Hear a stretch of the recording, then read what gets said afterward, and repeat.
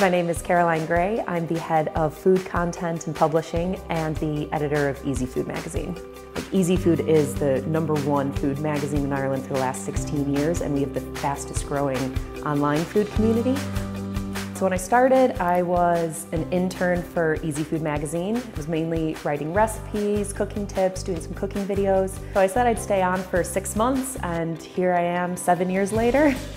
We on the food team have a group of people that range from food stylists to editors, photographers, digital strategists, but the cool thing about the food team is that everybody is absolutely obsessed with food.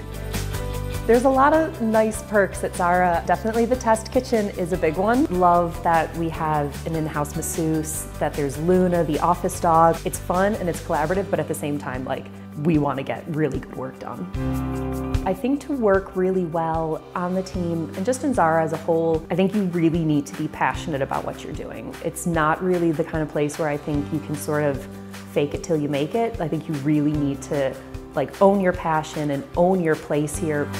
If you're obsessed with food, photography, creative, get in touch with us. We'd love to work with you.